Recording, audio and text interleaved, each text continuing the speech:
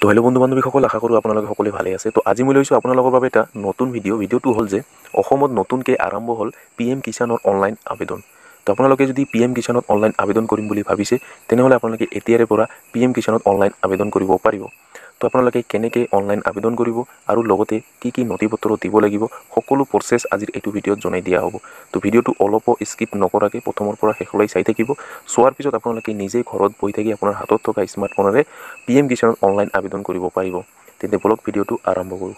তো ভিডিঅ'টো আৰম্ভ কৰাৰ আগত মোৰ এটাই ৰিকুৱেষ্ট যদি মোৰ চেনেলত নতুন হৈ আছে তেনেহ'লে প্লিজ চেনেলটো ছাবস্ক্ৰাইব কৰিব আৰু কাষত থকা বেল আইকনটো অন কৰি দিব। আৰু এইটো ভিডিঅ' আপোনাৰ বন্ধু বান্ধৱীসকলৰ ওচৰত বেছি বেছিকৈ শ্বেয়াৰ কৰি দিব। তো প্ৰথম আপোনালোকে পি এম কিষাণৰ যিটো অফিচিয়েল ৱেবছাইট সেই ৱেবছাইটত আপোনালোকক আহিব লাগিব। আৰু এইটো ৱেবছাইটৰ লিংক মই ডিছক্ৰিপশ্যনত দিয়া থাকিব। তাতে ক্লিক কৰি দিয়াৰ লগে আপোনাৰ সন্মুখত এনেকুৱাকৈ পেজটো অ'পেন হ'ব। তো এতিয়া আপোনালোকে স্কল ডাউন কৰিব। তো স্কল ডাউন কৰি আপোনালোকে ইয়াতে এটা অপশ্যন পাব। চাওক দুই নম্বৰত যিটো আছে নিউ ফাৰ্মাৰ ৰেজিষ্ট্ৰেশ্যন তো আপোনালোকে নিউ ফাৰ্মাৰ ৰেজিষ্ট্ৰেশ্যনত ক্লিক কৰি দিব। তো নিউ ফাৰ্মাৰ ৰেজিষ্ট্ৰেশ্যন ক্লিক কৰি দিয়া আপোনাৰ সন্মুখত এনেকুৱাকৈ পেজটো অ'পেন হ'ব। তো আপোনাৰ চাওক ইয়াতে প্ৰথমতে দুটা অপশ্যন দিয়া আছে ৰুৰেল আৰু আৰবান যদি আপোনালোকে এজন গাঁৱৰ হয় তেনেহ'লে আপোনালোকে ৰুৰেলটো ছিলেক্ট কৰিব। আৰু যদি আপোনালোকে চহৰৰ হয় তেনেহ'লে আপোনালোকে আৰবানটো ছিলেক্ট কৰিব। তো আপোনালোকে কোনটো হয় আপোনালোকে এইটো ছিলেক্ট কৰি ল'ব। তো লোৱাৰ পিছত আপোনালোকে ইয়াতে চাব পাৰিছে এণ্টাৰ আধাৰ নম্বৰ। তো আপোনাৰ আধাৰ কাৰ্ডৰ নম্বৰটো এইটো বক্সত দিব লাগিব। দিয়াৰ পিছত আপোনালোকে মোবাইল নম্বৰটো আপোনালোকে ইয়াতে দিব লাগিব। তো আপোনাৰ মোবাইল নম্বৰটো ইয়াতে দি দিব। তাৰপিছত আপোনালোকে আপোনাৰ ষ্টেটটো ইয়াতে ছিলেক্ট কৰিব লাগিব। তো আপোনাৰ ষ্টেটটো ইয়াতে ছিলেক্ট কৰি ল'ব। লোৱাৰ পিছত আপোনালোকে ইয়াতে কেপচা আপোনালোকে কেপচাটো এইটো বক্সত দিব লাগিব। কেপচাটো ফিল কৰাৰ পিছত আপোনালোকে চাওক ইয়াতে এটা অপশ্যন পাব। গেট অ' টি পি বুলি আপোনালোকে গেট অ' টি পিত ক্লিক কৰি দিব। তো মই এইটো ফিল কৰি আপোনালোকক নেক্সট ষ্টেপটো দেখাই দি আছোঁ। তো আপোনালোকে গেট অ' টি পিত ক্লিক কৰি দিয়াৰ হ'লে আপোনাৰ মোবাইলত এটা অ' টি পি আহিব। সেই অ' টি পিটো আপোনালোকে এইটো বক্সত দি দিব। তো দিয়াৰ পিছত আপোনালোকে চাওক ইয়াতে এই কেপচাৰটো আপোনালোকে এইটো বক্সত ফিল কৰি দিব। তো কেপচাৰটো ফিল কৰাৰ পিছত আপোনালোকে ছাবমিট বটনত ক্লিক কৰি দিব। তো মই কেপচাৰটো ফিল কৰি আছোঁ। তো মই কেপচাৰটো ফিল কৰিছোঁ। এতিয়া আপোনালোকে ছাবমিট বটনত ক্লিক কৰি দিব।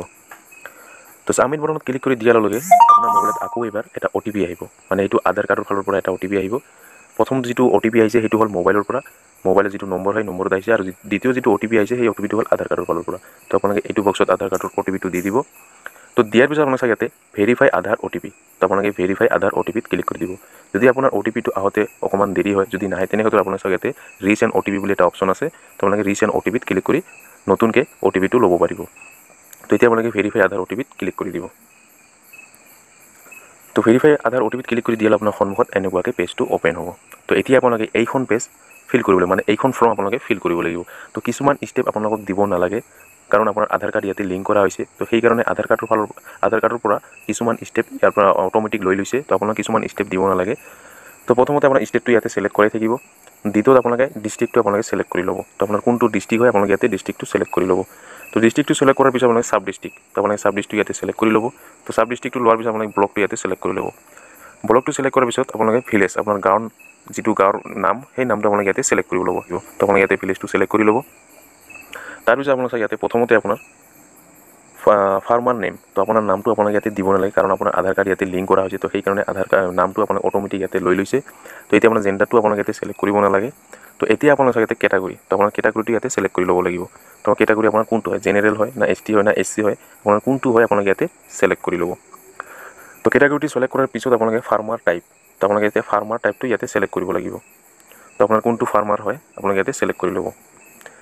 ইয়াতে চাওক small two one two H A ইয়াৰ পিছত আদাৰ্ছ তো আপোনালোকে কোনটো হয় আপোনালোকে স্মলটো হয় নে আদাৰ্ছ হয় আপোনালোকে ইয়াতে কোনটো হয় আপোনালোকে ইয়াতে ছিলেক্ট কৰি ল'ব। তো ফাৰ্মাৰ টাইপটো ছিলেক্ট কৰাৰ পিছত আপোনালোকে ইয়াতে ছিলেক্ট আই ডি টাইপ তো ইয়াতে অট'মেটিক ছিলেক্ট কৰাই থাকিব কাৰণ ইয়াতে আপোনাৰ অকল আধাৰ কাৰ্ডে নম্বৰে লাগিব বেলেগ নালাগে আপোনাক। তো ইয়াতে আপোনাৰ টাইপ অফ আইডেণ্টি প্ৰুফ তো ইয়াতে অট'মেটিক লৈ লৈছে আধাৰ কাৰ্ড। তো ইয়াৰ পিছত আধাৰ নম্বৰ তো আধাৰ নম্বৰটো ইয়াতে অট'মেটিক লৈ লৈছে তো আপোনাৰ মোবাইল নম্বৰটো ইয়াতে দিয়া আছে আপোনালোকে দিব নালাগে। আপোনাৰ এড্ৰেছটো আপোনালোকে ইয়াতে দিব নালাগে। তো ইয়াতে সকলো মানে ষ্টেপ আপোনালোকৰ সকলো এড্ৰেছটো মানে ইয়াতে আধাৰ কাৰ্ডৰ পৰা লৈ লৈছে। তো এতিয়া আপোনালোকে চাওক ইয়াতে লেণ্ড ৰেজিষ্ট্ৰেশ্যন আই ডি এতিয়া আপোনালোকে লেণ্ড ৰেজিষ্ট্ৰেশ্যন আই ডিটো দিব লাগিব। তো আপোনাৰ লেণ্ড ৰেজিষ্ট্ৰেশ্যন আই ডিটো আপোনালোকে ইয়াতে দি দিব। তাৰপিছত আপোনাক ৰেচন কাৰ্ড নম্বৰ তো আপোনাৰ ৰেচন কাৰ্ড নম্বৰটো ইয়াতে দি দিব। তো ৰেচন কাৰ্ডৰ নম্বৰটো দিয়াৰ পিছত ডেট অফ বাৰ্থ অট'মেটিক লৈ লৈছে আধাৰ কাৰ্ডৰ পৰা। তো ইয়াৰ পিছত আপোনালোকে are you accept for P M Kisan Maandhan Yojana তো আপোনালোকে ইয়াতে এটা অপশ্যন আছে। এইটোৰ মনধন য়োজনাৰ মানে হ'ল আপোনাৰ এটা য়োজনা আছে সেই য়োজনা যদি আপোনালোকে ছিলেক্ট কৰে বা য়েছ কৰে যদি ল'ব খোজে তেনেহ'লে আপোনালোকে য়েছত ছিলেক্ট কৰিব আৰু যদি ল'ব নোখোজে আপোনালোকে নট ছিলেক্ট কৰিব। যদি আপোনালোকে য়েছত ছিলেক্ট কৰে আপুনি মাহিলী তিনি হাজাৰ টকা পাব আৰু কিন্তু আপোনাক মাহিলী বেংকৰ পৰা পইচাও কাটিব। তো আপোনালোকে যদি ল'ব খোজে ইয়াৰ পৰা ল'ব পাৰিব আৰু যদি নলয় আপোনালোকে নল'লেও একো প্ৰব্লেম নাই। তো এতিয়া আপোনালোকে চাগে স্কল ডাউন কৰিব।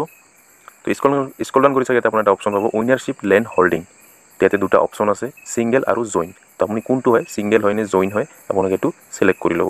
যদি ছিংগেল হয় ছিংগেল ছিলেক্ট কৰাই থাকিব অট'মেটিক আৰু যদি জইণ্ট হয় তো আপোনালোকে জইনটোত ছিলেক্ট কৰি ল'ব। তো ইয়াৰ পিছত আপোনালোকে চাগে ইয়াতে স্কল ডাউন কৰিব। তো স্কল ডাউন কৰি ইয়াতে আপোনালোকে চাগে ইয়াতে আপলোড ছাপৰ্টিং ডকুমেণ্টছ তো এতিয়া আপোনালোকে ইয়াতে আপলোড ছাপৰ্টিং ডকুমেণ্টছ দিব লাগিব প্ৰথমতে আপোনাৰ লেণ্ড আপোনাৰ খাজানাৰ ৰচিদটো আপোনালোকে ইয়াতে দিব পাৰে। বা আপোনাৰ মাটিৰ যিটো কিবা পাৰ্টা বা তেনেকুৱা কি আছে আপোনালোকে ইয়াতে দি দিব। তো ইয়াৰ পিছত আধাৰ।